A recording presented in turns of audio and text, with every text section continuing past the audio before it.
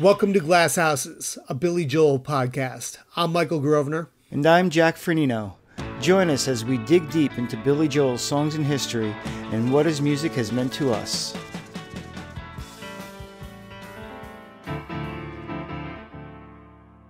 Welcome to episode 8, everyone.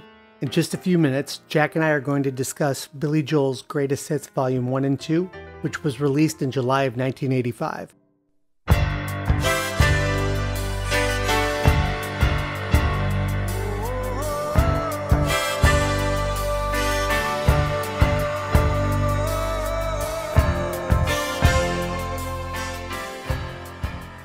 Billy Joel's Greatest Hits Volumes 1 and 2 is almost as much of a landmark in his catalog as his seminal 70s and 80s releases. The double album, featuring a short haired Billy in a black and white picture from the 80s, is almost as common in people's record collections as such classic albums as Glass Houses or The Stranger. Released in June of 1985, the album featured songs from 1973's Piano Man through 1983's An Innocent Man. It came out as a stopgap before The Bridge, and at a time in Billy's life when he was much happier at home. He and then wife Christie Brinkley had just married in March of that year, and soon their daughter Alexa Ray would be born. Meanwhile, the album served as an end cap to an important phase of Billy's work as a musician. He would later say that the Bridge album was so named because it was the bridge to the next phase of his career. That record, and the ones that followed, would feature different musicians, different styles, and different producers than the records that came before. And while it was a retrospective, Greatest Hits Volume 1 and 2 also added a few new songs to Billy Joel's canon, which turned out to be hits in their own right.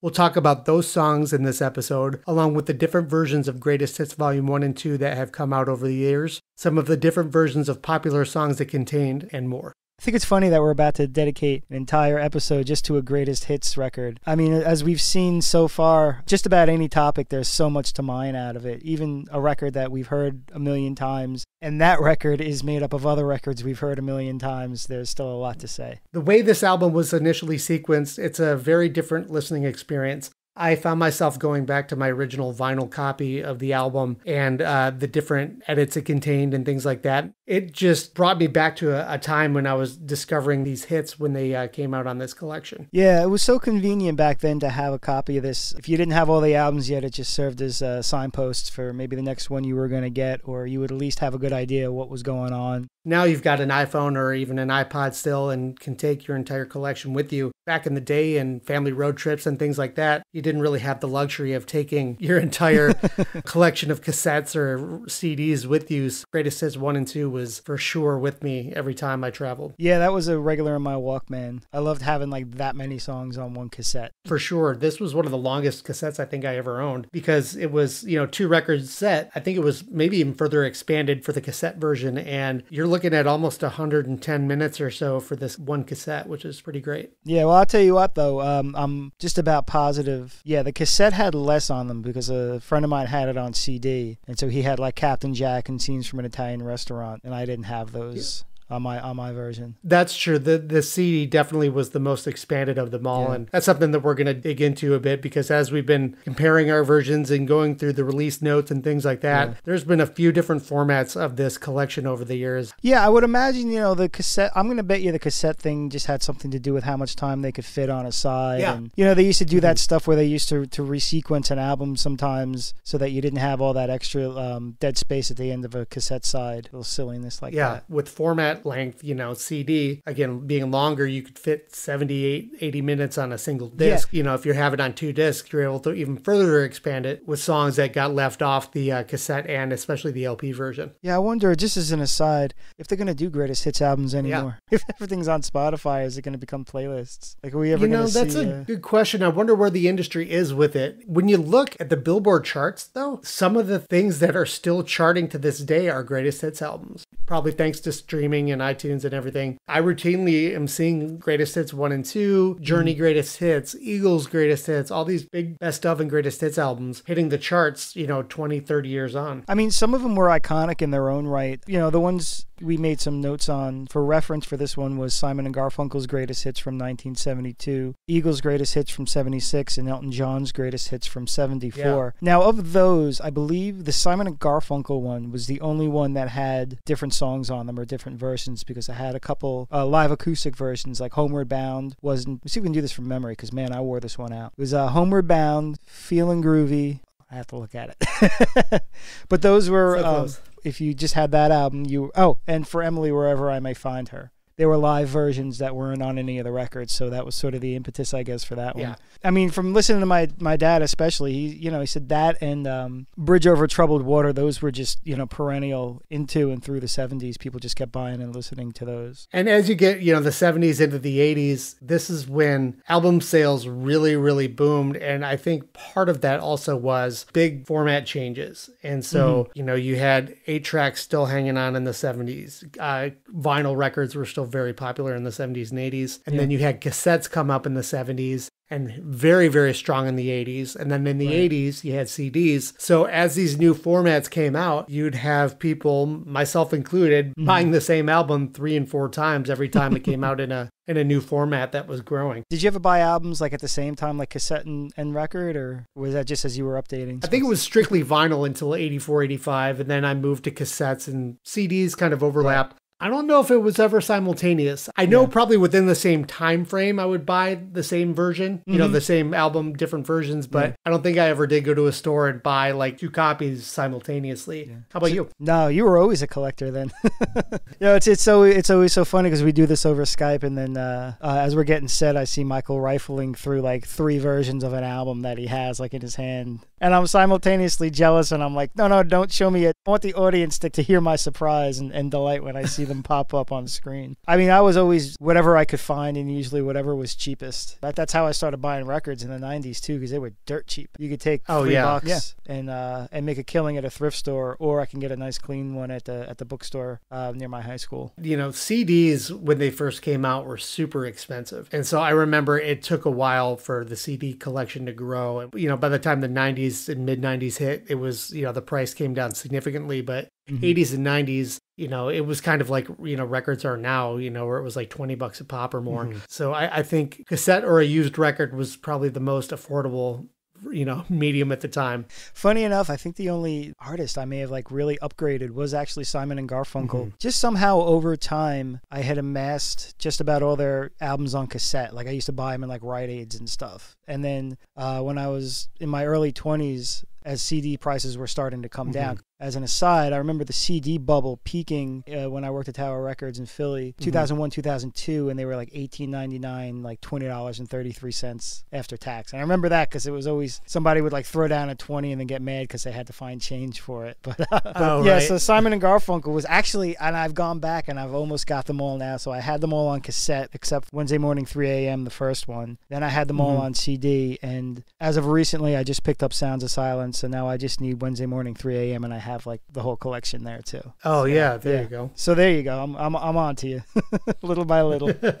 It's funny you mentioned purchasing simultaneously. I noticed that I'm doing that now because Metallica has found a way to release fun and cool things for their fans. Like Yeah. they've been re- reissuing their catalog the last couple years, and mm-hmm. G- the Garage Days EP got reissued on orange vinyl, mm-hmm. black vinyl, picture disc, and cassette. Wow. There you go. So there's like four copies and CD as well. Mm-hmm. And what they actually did with the CD, which I thought was genius, it was released in a long box. I was gonna bring up the long boxes when you were talking about how much it used to cost. Oh man, that was like early '90s. Those went away, But you know why that was the case, though, right? So The, the whole long box thing. right? It was just like waste. It was actually designed for retailers because from the 80s into the 90s is when the shift started to happen from vinyl records to CDs. Okay. Record companies would manufacture the albums in long boxes, or record stores would put them in fake plastic long box kind Right. of thing, so they could still fit them in the same display area as records. Oh, so that basically just extended the height to 12 inches, like a vinyl hmm. record. Wow, I thought So it was a basically, they- so all these stores basically didn't have to buy all new fixtures. God, we were so cynical. I think I asked my parents, Right. "How come they come in there?" He's like, "So people can't steal them. They're too small." so uh, going back to those other greatest hits, real Yep. quick. Now, Billy Joel's Greatest Hits Volume One and Two is a bestseller in its own right. It's up there. If you count greatest hits, it, it cracks the top twenty uh, best-selling albums of all time. It's certified for twenty-three million in sales. Yeah, as of October 26th, 2011. The only one we could find that beat it was the Eagles' greatest hits. The one with the blue cover, and if you have a good version of it, the eagle on it is a little raised. It's not just a flat cover. That was certified for 38 million as of August August of 2018, and that was released in 1976. Mm-hmm. And it sort of vies against Michael Jackson's Yep. Thriller as the number one album of all time, which sold 33 million as of February of 2017, which was released in 82. And then the other one that I thought was really another iconic one was the Elton John Greatest Hits from 1974. That one sold 17 million, and that was certified as of April 2016. And keep in mind when we're talking these album sales figures, this is just the United States. So Right. we're not even talking worldwide here. So we're also going to look at the two new ones on this album, which were "The Night Is Still Young" and "You're Only Human," and then we're going to look at also, you know, what made this interesting was uh, some radio edits and other alternate versions of songs that appeared on these. Not huge changes, just little tweaks here No. and there. Uh, well, except for one particular glaring change that was made, which we'll we'll get into a little later. The original one that came out in 1985 on vinyl, across the board, if there was a radio edit of the song, they used it. Mm-hmm. And a lot of people were not happy about that because they like the album versions, and I, Right. I totally get that. But at the same time, this is a hits package, so it's based on hit singles, Mm-hmm. and so these were the versions that you would have heard on the radio at the time. I think it's it's you know it's sometimes worth mentioning uh, the difference between a greatest hits and best of album. So usually the greatest hits would be Yeah. chart topping records, whereas a best of could be based on critical acclaim, fan favorites, or the songs that uh, the artist or someone else thinks is most representative of their work, regardless of album sales. So this was yeah, this was greatest hits. So this Yeah. was we would imagine based on on album sales more than anything else. Yeah, I would agree. This is taken essentially directly from what charted. Now you got a couple in your hand. Speaking of, I think one was a remaster, but they're all vinyl, right? Yeah. The one I'm actually holding at the moment is uh, my uh, original copy from 85. It's actually in decent condition, which is surprising because I didn't start taking care of my record collection till I was much, much older. Everything's gray. Um, the coloring is all gray on it. And uh, the back cover shows a very young Billy. I would probably place that photo somewhere between Street Life Serenade and Turnstiles. My, my my second version of the original actually belonged to my aunt and uncle who had passed away. It's not sealed, but it's still in the shrink wrap, so it still has the hype sticker on it, what Ah. they call, which is you know when you'd buy a CD and it'd have a big sticker Mm-hmm. kind of selling you on what's special about you know this particular record. And so this one says specially priced two record set including just the way you are still rock and roll to me piano man my life tell her about it and 14 other billy joel classics hmm. plus two brand new soon to be classics you're only human second wind and the night is still young That's quite the hype sticker. yeah. And that's the only pop of color at all. It's a silver sticker to match, but the uh, text on it is in red and blue. Huh. And I can't believe the price. This is actually really cheap for a two record set. The price sticker is still on it from Harmony House in Michigan for $9.99, which is incredibly cheap Yeah, for right. a record like this. Again, twenty dollars thirty three cents in the two thousand two. So, yeah, exactly. did you have like a remaster one there too? Just out of curiosity. The second vinyl version I have is um, there's a company called Mobile Fidelity Sound Lab, Mm-hmm. and they do a lot of great reissues of pop and rock stuff, largely from the 70s and 80s. But you Mm-hmm. know, you'll see a lot of uh, newer stuff. I know they've done a lot of the Weezer catalog and whatnot. In 2016, they did a 4 LP remaster of the greatest hits. And this one, it's in a nice hard box here. And yeah, it said original master recording in red up top. Um, so that's kind of the, the branding of Mobile Fidelity Sound Lab. But it's a really, really nice version. And this is all uh, from the original album versions as well. So this isn't radio edits Right. here. But what's interesting is it's, it's split between four LPs. So you've got roughly four songs on each side. Yeah, I was looking at that. That's a whole box set. That's not even just a gatefold. Yeah, it's a nice thick box set with a, a nice booklet with all the lyrics inside, and it's actually um, numbered. They only made three thousand of them, so this one's number two eighty seven. And is that sealed? Oh no, it's I see the opening at the bottom. Yeah, so I actually have two of them because Okay. I'm, you know, I'm you're that guy. so I'm that guy. Yeah, so this one's open, which I've played a few times, and then I've got one that's a lower number Yeah. that uh, is still sealed. That's great. I didn't even know about that version. That's a nice find. Is there like a real discernible difference in the sound? You know, I haven't done a whole lot of A being between the two. It feels a little richer and it feels a little bit more consistent from song to song to song. Um, so the levels are a little more consistent. That's a tricky thing too with greatest hits albums is you have all these songs from different records these songs are consistent level wise, you know, within that album. Album to album is a whole different ballgame. Right. Things may be louder on this album, or this album may be a little mastered a little quieter. Yeah. You run the risk when you just do a straight compilation of these audio levels being so all over the place. So mm-hmm. you really have to take and master all the tracks when you do a hits album like this so everything is in line. I took the time to listen to my original the original vinyl and the original CD versions recently and I hadn't listened to it in so long that I had kind of forgotten the sequence and forgot the different edited versions and things like that. I I've, I'm now so used to the full album versions that it was actually kind of fun to relive the experience of going through this original track listing. Yeah, it's funny. I forgot that a couple songs from Innocent Man made it on this one. Uh, I thought it stopped after Nylon Curtain. The Innocent Man album is the one album that had overlap between uh, this one and Greatest Hits Volume 3, which came out 12 years later in 97. So this one did have three songs from An Innocent Man Tell Her About It, Uptown Girl, and The Longest Time. The LP in the cassette says some original pressings omit Don't Ask Me Why and place Honesty after Big Shot, pushing You May Be Right to the beginning of side three. I may have one of those. I don't think, I mean, I don't even know if I still have the cassette anywhere, but I don't think I had Don't Ask Me Why on this one. I think I only had that when I had the uh, Glass Houses cassette when I was a kid. Yeah, when I read this, it, it surprised me because I'm the opposite. My versions both have Don't Ask Me Why, and You May Be Right is the last song on side two. So that's the version I always Right. knew. So I've actually never seen at least a vinyl version that has honesty in place of Don't Ask Me Why. If anyone out there has a version with it, send me a photo. I'd love to see how it looks different on your version. Yeah, because I definitely had Honesty too, because I always remembered that uh, the Greatest Hits album had the first three songs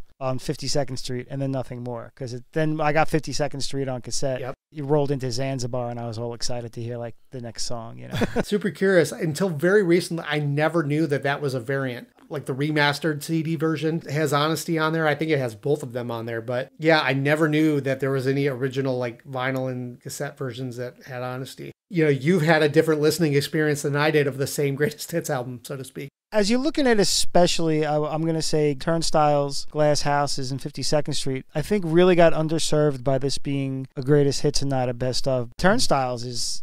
Uh, the album itself is pretty underrepresented. Uh, there are people that, that would consider Yeah. that over even The Stranger as his best album. I mean, you know, it's a matter of opinion, but it's certainly up there. Sure. Like Yeah. Miami 2017, I think, is the glaring omission here. But I guess that wasn't. a Yeah, single. yeah. It wasn't a single. It became a staple, and I think starting with like songs in the attic, it was such Yeah. a powerful version. They did, you know, they did it on Saturday Night Live and all that. You know, at the time, Turnstiles and Street Life Serenade kind of came and went. even Nylon Curtain, you know, all the greatest, you know, everything on the greatest hits from those albums are all from side one. And, Yeah. you know, there are some gems on the second sides of those albums that I think really got overlooked, you know, especially sort of in the history book, so to Yep. speak. You know, they didn't make greatest hits, you know, something like Rosalinda's Eyes off 52nd Street. Yeah, I mean, those are pretty strong songs in the catalog. You know, well, we talk about Sleeping with the Television on, uh, we talk about There it a you few times now, which is the big one, which we all think is going to, you know, make a big comeback. Um, Nylon Curtain had surprises, had She's Right on Time, had Scandinavian Skies. And, you know, those all kind of got lost in the shuffle once the greatest hits sort of put things on the record, so to speak. Honestly, when it comes to the Nylon Curtain, I would have thought that She's Right on Time would have had a better chance of a single than Goodnight Saigon, strictly because of Goodnight Saigon being like seven minutes long. And it, but again, you know, that was fun. It was just all the stuff on side one. I wonder if, you know, that's how albums were structured in part. Was it intentional that a lot of the singles were on side one? Yeah, I, I would say, you know, well, 52nd Street, it really feels like he he stacked three singles first, and then most of the songs after that were of odd length. Um, Zanzibar, I think, was a little long, but not significantly. Stiletto was kind of long. Until the Night was obviously very long. Rosalinda's Eyes, what was Rosalinda's Eyes? It's probably around, what, four minutes, I think? Yeah, it wasn't too long, but, Right. you know, for radio at the time, a little bit maybe. Yeah, and then obviously 52nd Street was was too short. You know that wasn't going to make it. Glass House is you know this the first side was a lot more rocking than the second side. I would say. Yep. I think if you took maybe one of the songs on on side B and swapped it with Don't Ask Me Why, you would have like almost acoustic electric swap between the two sides. Sure. Take yeah. out close to the borderline or something. And on greatest hits, I'd say the album that's most represented, which makes sense, would be The Stranger. There Yeah. are five songs from The Stranger on the original version of this. so I want to read a uh, a review I found here. Well, I have two. Yeah. Uh, one's in one's in retrospect. One I, I I think came out around the time it came out. So the first one's by Robert Christgau, who's uh, coined himself the dean of, of American rock critics. Who's written for the Village Voice, Esquire, Cream, Newsday, Playboy, Rolling Stone, Blender, NPR, Billboard, amongst you know many Yeah. others. Uh, he's pretty seminal, and uh, he's not a big Billy fan, um, and I'm not a huge fan of his. But you know, what are you gonna do? right, right. he uh, he did give this one an A minus, and he writes, "I give up. It would be as perverse to resist his razzle dazzle as to pretend Led Zepp doesn't knock your socks off." Goes on Yeah. to to uh, compare him more to says he's pure Tin Pan Alley. Compares him a little to Dylan, John Lennon, Bruce Springsteen. The worst you can say about him is that half the time his aim isn't perfect, and the worst you can say about this album is that he baited it with two new misses. You know, I, you know, the charts kind of said different because, um, Yeah. you know, the two new ones were "The Night Is Still Young" and "Second Wind." "The Night Is Still Young" hit number 34 on the Billboard Top 100, 13 on the Hot Adult Contemporary, and Second Wind" made it all the way to number two on the uh, Hot Adult Contemporary tracks, number nine on the Billboard Hot 100. So that cracked top the top 10 10. Yeah, That's- that's that's pretty big, man. So you know, and then "The Night Is Still Young," you know, that that's had a little bit more of a of a lifespan than Second Wind" or "You're Only Human." Uh, it reappeared on 12 Gardens Live, so it kind of gave it a slightly new lease on life. And then uh, allmusic.com,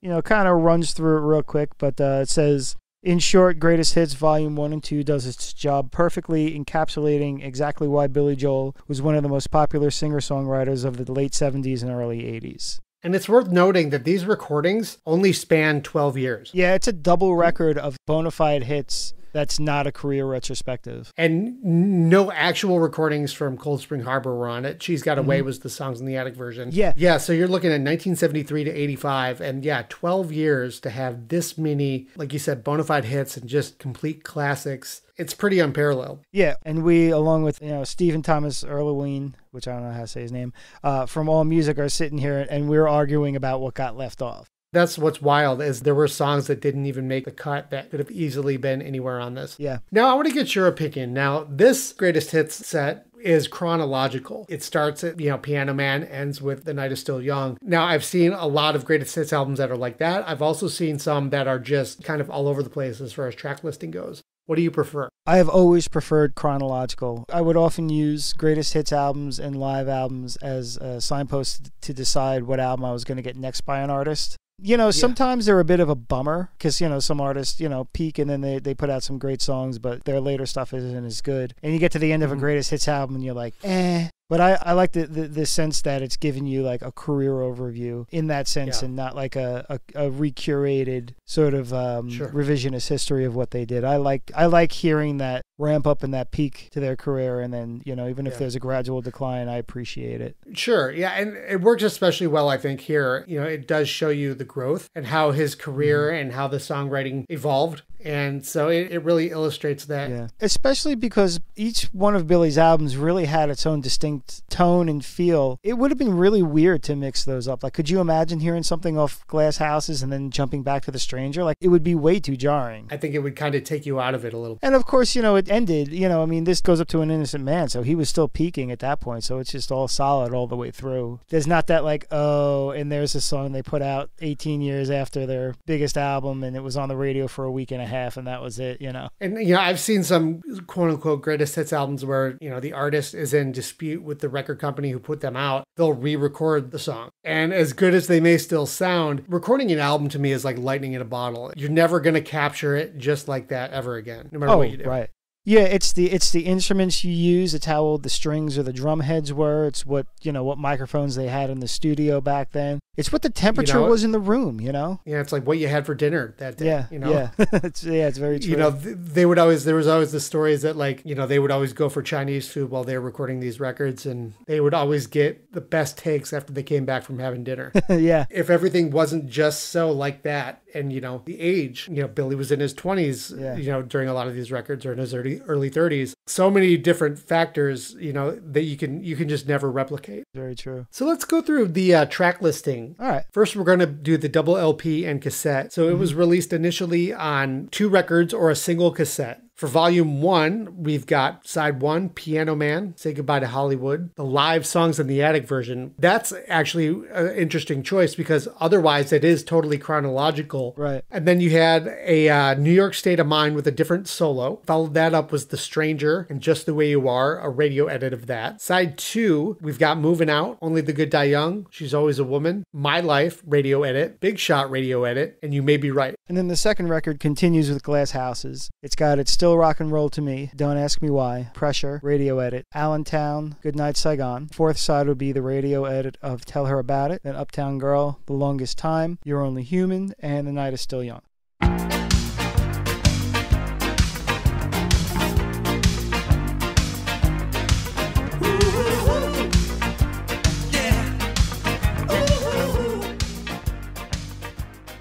You're Only Human. This is one that, uh, you know, even in the height of his fame, you know, really kind of harkened back to his youth in a way. You know, it's a kind of a suicide awareness song, and Billy had tried to commit suicide um, when he was Yep. in his early 20s. Um, and he talks about it every so often, but this is almost uh, kind of like a PSA about it. I like that he's tackling something that's pretty serious while still kind of keeping it light, so to speak. Yeah. You know, cautioning against suicide, but at the same time, it's just a light reminder. It's like, hey, everyone goes through trouble, everyone makes mistakes. Yeah. You'll get through it, I'll get through it. You know, it, it occurs to me now, um, you know, the anti suicide aspect. I mean, it's kind of in the song, but it's really outlined explicitly in the video where the guy's like on the bridge and he drops his wallet in the in the water. Billy shows up and like just kind of talks. So I'm kind of it's a it's a wonderful life sort of situation there. It, it was it was a pretty well done video where you know they, they kind of went through everything without any dialogue and you, you knew what was going on. They were jumping around, you know, you know, and, and you know maybe it didn't uh, fare that well over the years, but I gotta say, you know, when he, he throws out that line, you know, I, uh, I survived all those long lonely days when it seemed I did not have a friend. First of all, rhythmically, it's kind of fun because it's got that three against two feel. But you know, it's such an earworm, just that one moment, just the way he sings and he really pops it in there. You know, you got to wonder if uh, at least one or two people didn't have that sort of bubble back to the surface in their mind at the moment when they needed to hear it. Yep. Like it just got stuck and came back out, you know? The way I think of it with things like that too is it's like if this song got one person to reconsider things, and Yeah. mission accomplished. I'm sure it helped many more, but if it helped one person, then I love it. That's great. And that was such a it was such an honest damn line too. You know, the whole song is like kind of so funny because I don't want to say the song is superficial because it's not. But it wasn't very detailed. It wasn't very descriptive. But he really drives it home with that one line where you feel like that was the moment he allowed himself to, to get a little introspective. You know that's what I a mean? Little more. That's a little more line, yeah. personal, right there. Yeah, you're right. didn't sound rhetorical. I think that's more the word I was looking Yeah, for. Yeah, yeah. There's actually a funny screw up vocally on the tune that Oh, yeah? made it into the recording near the end. Uh-huh. And when it comes back into the it's all right, it's all right, Mm-hmm. the line is sometimes that's all it takes. But Yeah. he hesitates to go into it and he kind of slides into it. And it's like he holds the S for a while. So sometimes that's all it takes. And he rushes into it and then he laughs. That was totally unplanned. That was totally an off the cuff screw up that Oh, yeah? they just kept. You know, he was like, all right, let's go back and do another take. And Phil Ramone was there, obviously, and Christie was there. And they're all like, well, you know, isn't that kind of part of what the song's all about? Making mistakes. Mm-hmm. So Yeah. it's, you know, it's very human of you. So it's, you know, it's not so glaring that it's it's going to ruin a verse or ruin a chorus. It's just a small little mistake. Why don't you leave it in? It gives it character. And so they did.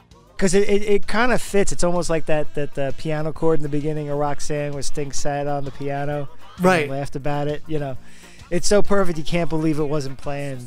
To, he, to find out it was an actual mistake is pretty inter- it's pretty funny. I like it. Yeah, and it just ties so well into the, into, into the theme. Yeah, for sure. It's alright, it's alright. Sometimes that's all it takes. We're only human. We're supposed to make mistakes.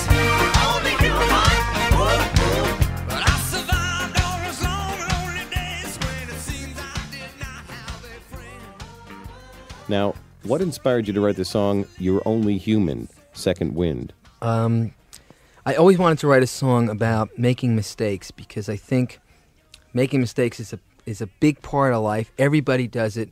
Uh, I've made mistakes. I'm gonna make more mistakes, and I really think they're the only original things that people do. Uh, I know I write a lot of songs by accident. A lot of times I can sit down. I know the right things to play, but I don't know the wrong things. And most of the songs I write are written by accident. They're written by mistake. I'll I'll play an, uh, a, a major chord and I'll play another chord, and then I'll, my finger will hit something by accident, and I'll go. I go, hey, what was that? You know, I like that. And it's like, you know, people can teach you to do things correctly, but only you can royally screw it up, you know? and that's what makes everybody unique. And that was the impetus to write the song. Know, one time in my life, I was suicidal. I did try to do myself in. It was a really tough time of life. And I think at that particular age, I was about 19, 20. It's just a tough time. And uh, I think it's tougher now for, for people going through that age than it was when, when I was that age. And I just I always wanted to write a song about that particular thing too. About you know, give yourself a chance, and you know, you're going to recover from these things, and it's good, and it's human to make mistakes, and you can learn from them. You can be a better person, and uh, and I didn't want it to be a downer. I didn't want it to be a oh. I thought about committing suicide, and if somebody's on the edge and they hear they heard a song like that, they might decide to jump by hearing that. So you made it funky. Hmm. I tried to, you know, let's make this thing uplifting and hopeful and fun. This is one story I read about this is that you made a mistake during the song, right? Yeah, coming out of the verses, it goes. Sometimes that's all it takes, and it was a serious mistake. And I came back in the studio. I said, "No, no, no, I got to fix that." And Christie was there, Paul Simon was there, Jim Boyer, my engineer, was there. He liked it. They all liked it. They said, "Well, you know, why don't you leave that in?" And and I said, "No, no, it's a screw up." And, and Paul Simon goes, "Well, I kind of like." Christie says, "It's cute. I like that. It you know, it says what the song says. You're allowed to make mistakes." Right. And I said, well, okay, yeah, right. It does reinforce the thing. You're allowed to make mistakes. It made a lot of sense when it came down to it.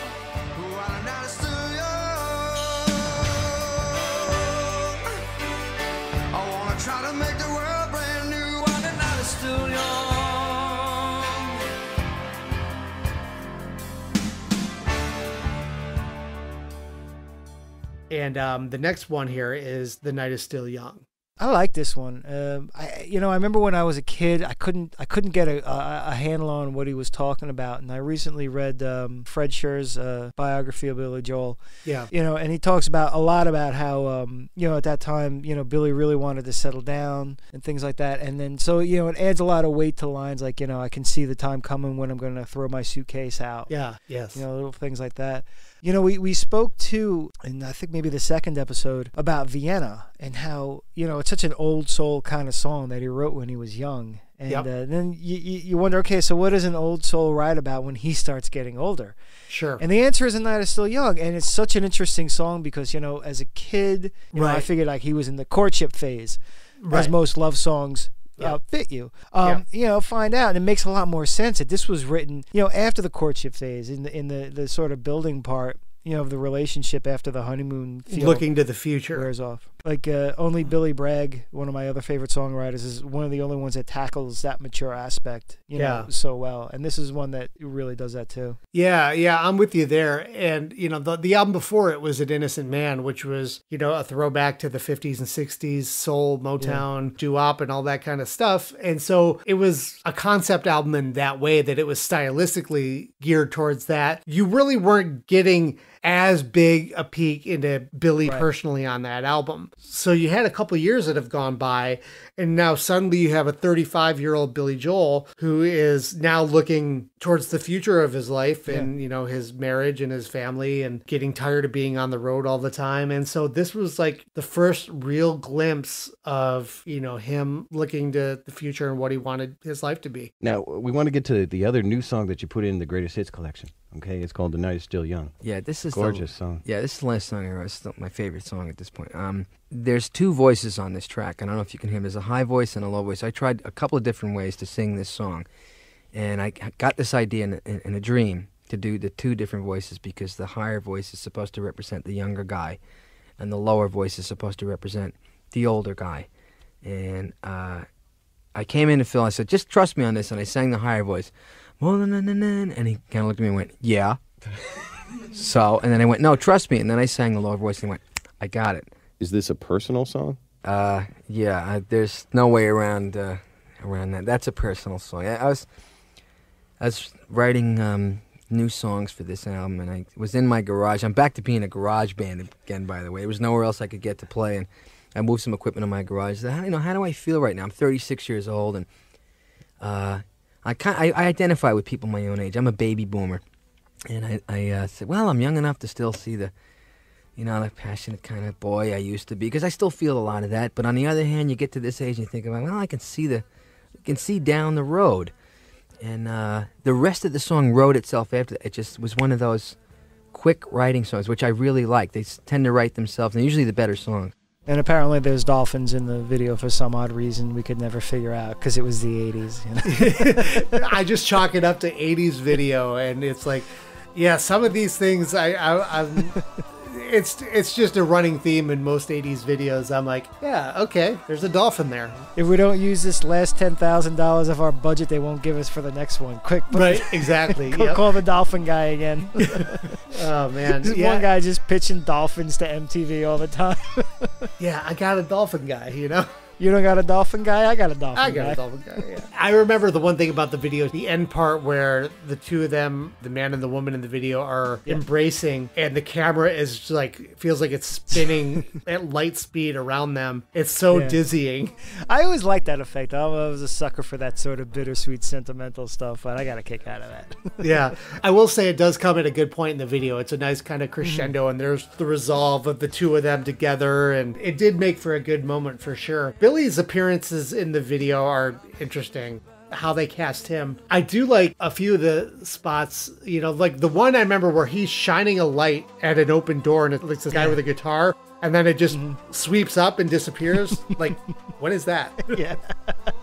and then he's a kid and he's showing himself how to play the piano, like how to find middle C. I'm kind of torn on what I think that means. Like, I've, is it him teaching himself, or is it like, say, him teaching a son how to play piano? So it's like passing it on to the future generation. I didn't quite land any specific spot with that, but I didn't mind that so much. Oh, it was it was a nice visual, certainly. Yeah. I mean, where you know where you're only human was was nice. The uh, video wise was pretty. Uh, it, it was narrative driven and it was linear and it all made sense. This was like, all right, we have four different themes going into a to a Right. three and a half minute pop song and, Yeah. dolphins, and we're gonna get this all to work. yeah because then you have the guy with the suitcase like trying to hitch a ride from the truck which billy is driving and it's Billy. it's billy's all the stubble going on and he's driving the truck but he's gonna make the guy work for it so he like speeds up and makes him like book it to the truck and barely make it on i, I didn't understand that and then he's in one more scene there's the slow motion scene of the factory workers walking out of the Oh, yeah. factory he's Right. in the crowd of factory workers Was he the stagehand that pulls the curtain? Yes, that's him. I think he's wearing like the newsboy cap. Yeah, Yep. yeah, yeah. Yep. See, that's another like random five stories going on at the same time. Like the more you bring this stuff up, I'm like, yeah, there's a lot going on in this video. And so the two CD release of it has a different track listing again. Disc one, like the other release, starts off with Piano Man. First difference is you then get Captain Jack and the Entertainer, so now Streetlife Serenade is also represented on this album. Say Goodbye to Hollywood, same live version from Songs in the Attic. New York State of Mind, The Stranger. Then we add in scenes from an Italian restaurant. We get the radio edit of Just the Way You Are. Moving Out, Only the Good Die Young, and She's Always a Woman. And She's Always a Woman is an addition for for this version as Oh, well. that's I right, yeah. And then so for disc two, we've got My Life, the radio edit, the Big Shot radio edit, and then we've got Honesty here for track three. Then you have You May Be Right, Still Rock and Roll to Me, Don't Ask Me Why, She's Got a Way live from Songs in the Attic, the radio edit of Pressure, Allentown, Goodnight Saigon, Tell Her About It, radio edit, mhm. Uptown Girl, The Longest Time, and then again closing out with You're Only Human and The Night is Still Young. So, and then in 2017, so the list I'm reading says 2017, but I'm going to go out on a limb and say this Yeah. is 1998 as well. Yeah. Because in 1998, they remastered Billy's entire catalog, including that was Greatest Hits Volume 1 and 2. And I don't have it handy, but if I'm not mistaken, this is the track listing for that as well from 98. So it looks pretty similar. I'm looking through it to see if I see any glaring differences. No, I don't see any. I think the only difference is that these use the full album versions as opposed to the radio edits. You're right, yeah. Say Goodbye to Hollywood on the remastered version they revert to the Turnstiles version instead of the Songs in the Attic version. Hmm. So as a result of no longer using the radio edits, it's a each disc is a couple minutes longer, but that's just kind of where it sits. Right. So a couple weeks ago, while we were talking about the B sides and rarities, we also went through the greatest hits albums and went through some of these different radio edits. We had a good discussion about that, so let's check that out now. This has a handful of songs here. Now, we were talking with radio, as Billy would say it, you know, if you want to have a hit, you got to make it fit. So they cut it down to 305. Back in the 70s and 80s, they were all about cramming as many songs in as they could. So they would do some pretty drastic radio edits. And uh, Billy uh, got caught up in a lot of that. And there's quite a few songs here that we're going to go through that there were edits done to. Yeah. So the next one is Just the Way You Are. Now, I know the radio version is considerably shorter, but I honestly have not A-B'd the two, and I don't know what got cut out. Have you listened to it at all? No, to be honest with you, probably should have, but Yeah, I'll have to go back and A/B it this one as well, just to kind of see what's what's different about it. Uh, if any of you out there know specifics, let let us know. Um, you know, what what you're finding where that one got the edit. I really didn't notice a lot of the radio edits until we get to these next couple songs, especially the next one here, which is My Life. yeah. Yeah, this one was pretty jarring. They cut out the piano solo and it goes right from the, the vocal breakdown uh, right back into the chorus. Yeah, and that edit in particular is not clean because what's going on musically in the two sections that they cut together is very mm-hmm. different. And so it's very abrupt when he goes back into the chorus after cutting out that piano solo. And it just, every time I hear that version of it, to me, that one edit in particular stands out. Did you ever be listening to a song on the radio and you think the chorus is coming up, but it's really not, but you can actually hear the chorus for a split second in your head before you Right. snap back to reality? Yeah. That's what it's like every time I hear that version. Like, I just hear like an extra second of the piano solo before I get refreshed or my mind updates. Yeah, and you know what it is? It's because like there's no breath because he clearly needs to take a breath. You know, ah, my time. I don't care. You know, it's just That's he exactly trails it. and then he's Right. got like a full lung full of air to push out again. It it's doesn't it's not natural. And I know like the beginning of it, they cut off the intro considerably, and I think they cut a verse out like they do in a lot of these.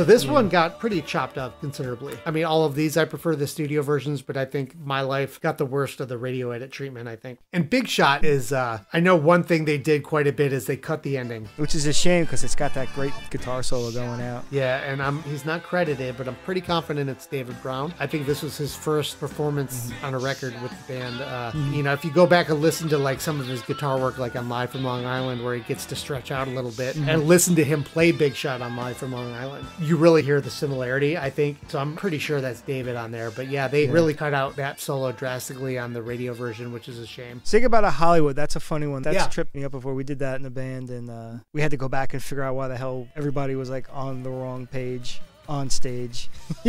Yeah. Somebody's going to a different part, and we had to like kind of do a forensics, and we're like, okay, okay, use this version, this particular recording that I am sending you. Don't go on YouTube. You're gonna find something different. It's gonna trip you up.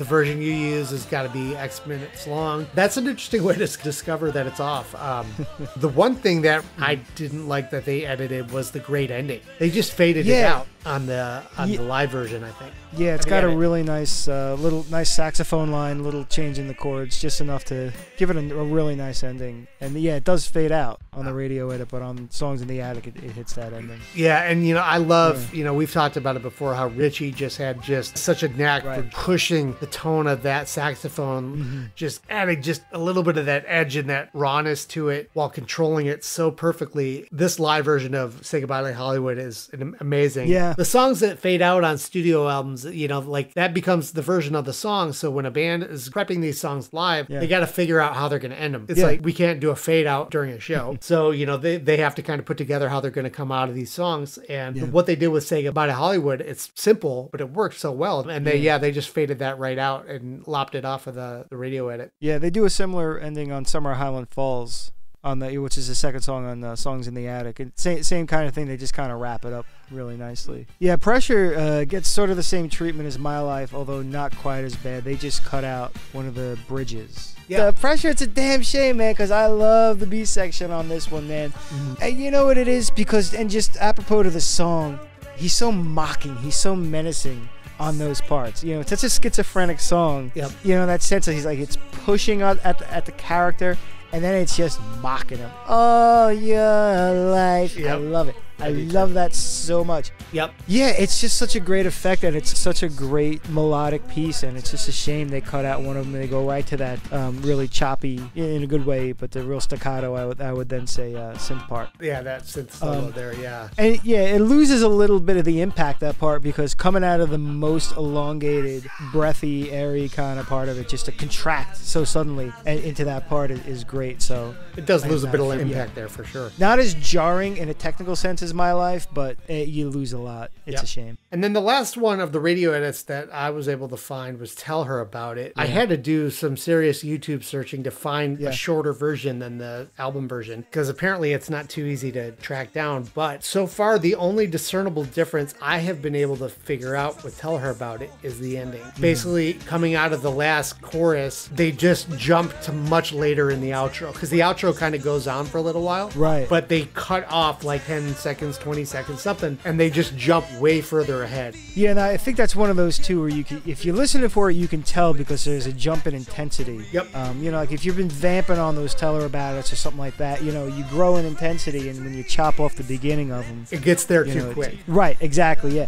You know, now that we say it, uh, we'll, we'll have to go back. That may be the version they use on the Yeah. video too, because in the video he's like walking off stage and he's doing it. And I Oh, think you're right. Yeah, jump. they duck it You out know pretty why? quick. because it goes to Sputnik. It, it, when they're in Yep. space, and it makes sense because the, the the volume drops out a little. They're supposed to be watching from space, and the two cosmonauts are, are waving, and then Right, it, and then that's it goes very, back. Yes. So that's our uh, review of Greatest Hits Volumes 1 and 2. Once again, uh, it's surprisingly a lot to unpack for a Greatest Hits record, Yeah. but it is one of the best selling records of all time. It's something that I think a lot of us all grew up with, and so there's a lot of memories that come with it, and there's, of course, a lot of great songs on it. Yeah, you are right about that. It's been a lot of fun to revisit this. I haven't listened to the greatest hits album in a while because I'm typically an album, a full album guy. But I lived with this greatest hits record for many, many years after it came out. I never realized how familiar I was with the sequencing and the radio edits until going back. It was just jogging so many memories. It was really wild to hear it again and kind of get familiar with how this was all put together. So reach out to us, uh, give us an email, get in touch with us on any socials. Let us know which version you had. Let us know your memories of uh, listening to it. If you go back and listen to it, if you notice anything like the radio edits, things like that that you didn't realize were there before. Yeah, shoot us an email over at glasshousespodcast at gmail.com. And we are all over all the socials Facebook, Twitter, Instagram. Just search Glass Houses Billy Joel Podcast and you'll find us there. And we'll see you next time.